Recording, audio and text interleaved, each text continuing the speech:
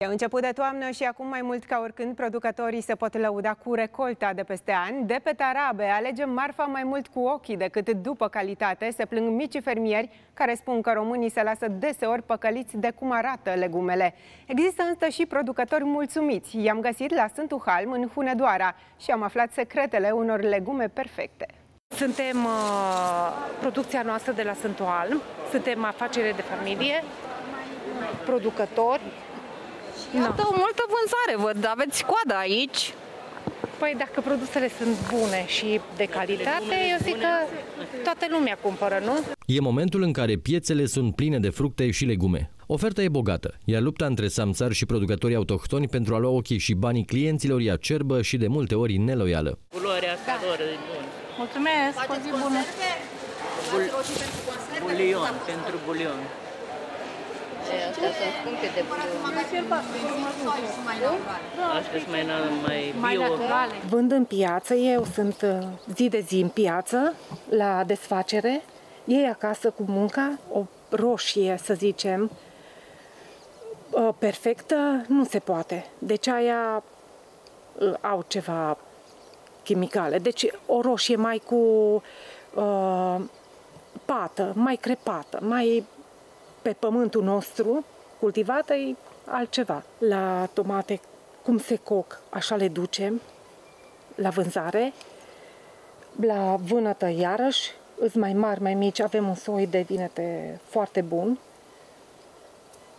Acum depinde de client, dacă vrea perfecțiune, nu se poate. Chiar dacă nu au aspectul perfect, au gustul și savoarea de demult, spun producătorii. Varză, conopidă, vinete, roșii, mai avem puțin dovlecel. O să scoatem uh, selina, rădăcinoasele, adică morcov, pătrunjel, uh, păstârnac, praz. Conopidă de toamnă, pentru că azi mâine mm, începem să punem și murăturile.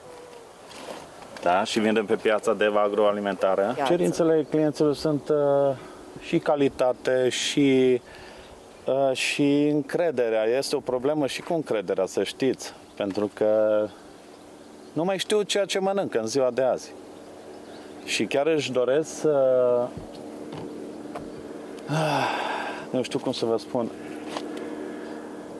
să vadă ceva real, să vadă ceva real, o roșie adevărată, o vânătă adevărată, o conopidă, o varză, uh, autohtonă și locală, de la producător uh, local. Pentru că în cazul multora dintre ei legumicultura e singura sursă de venit, nu-și permit nicio zi de pauză. Începând din luna ianuarie, începând cu răsarul cu sămânțarea la roșii, de exemplu roșii, vinete în luna februarie-martie, uh, până faci acel răsad, durează undeva martie-aprilie.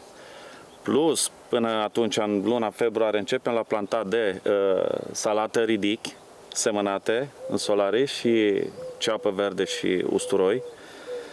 Uh, pentru a uh, pentru a avea marfă de Paște. Nu ne permitem noi, ca și producători locali, să dăm zeci și sute de milioane, vreau să vă spun zeci de milioane pe îngrășăminte chimice.